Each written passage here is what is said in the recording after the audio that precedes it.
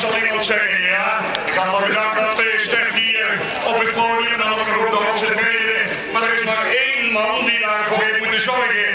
Dat is de man die hier bij me staat. Stef, een dolgelukkig bent daar.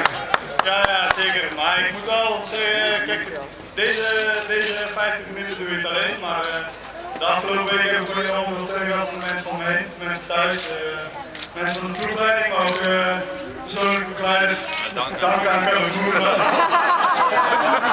Die mij vooral mentaal heeft mij aan het scherp gezet. Nee, je het nooit alleen, alleen je beseft als je op de dat je van Dam en wel in staat. Als je dan hier over de twee komt, en ik had de stiekem gevraagd omdat ik inderdaad het laatste mag starten, dan is het uh, voor de tweede keer heerlijk om in de hand mogen over de te rijden. Stef, geweldig, mooi verhaal mensen natuurlijk. Dank je voor het je ook nog even steun natuurlijk.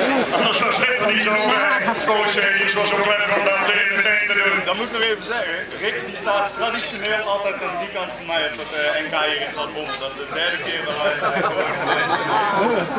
dat, is, uh, dat is heel mooi, uh, ja dat is heel mooi. Ja, het is natuurlijk een plekje maar dat, kan nog even duren.